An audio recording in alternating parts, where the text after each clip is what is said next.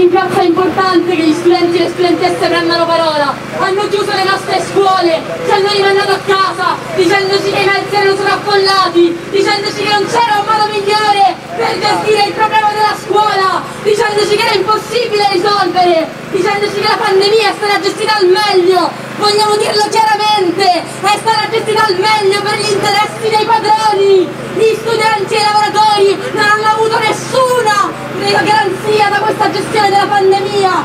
Chi ci veniva a parlare del fatto che la crisi non poteva essere gestita meglio erano le stesse persone che nel Lazio hanno chiuso gli ospedali. Parliamo del PD, parliamo di chi ha enormi responsabilità politiche nello sterminio che ha causato il Covid-19 e in tutte le questioni relative alla scuola e alla sanità.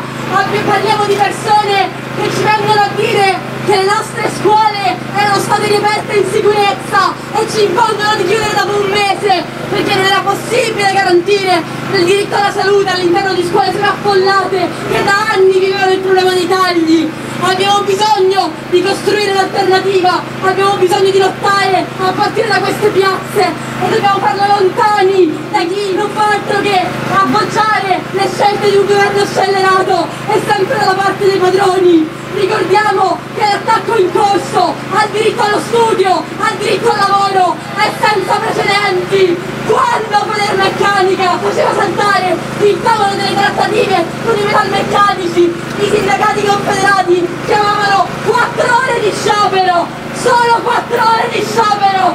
Noi siamo pronti a scioperare oggi, a scioperare domani, a scioperare sempre ci riprendiamo la scuola, ci riprendiamo la salute, ci riprendiamo il diritto al lavoro, gli faremo pagare tutto, a partire da questa crisi ci riprenderemo tutto, non siamo disposti a fare un passo indietro, perché mentre questi signori non investivano niente per i trasporti, hanno investito 2 miliardi e mezzo per i cacciabombardieri. E noi queste contraddizioni le facciamo uscire perché